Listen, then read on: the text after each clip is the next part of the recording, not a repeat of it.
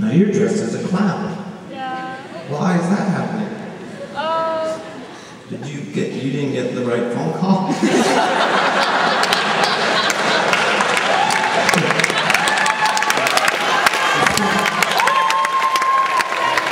Are you punished or are you, entertained? what, what is going on? My leader. Boss. She's the boss.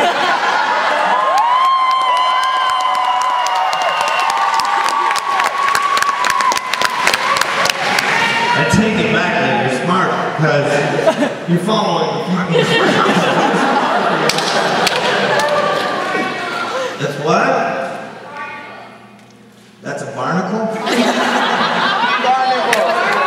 Oh, there was a carnival. So?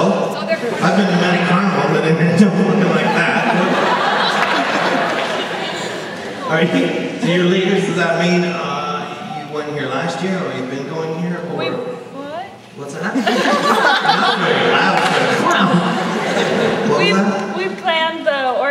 orientation. You planned the orientation. Yeah. Oh, yeah.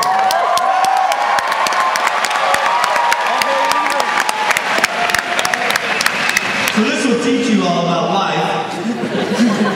These two people have worked their ass off, and now they look like clowns. Don't work hard in life. That's what you learn.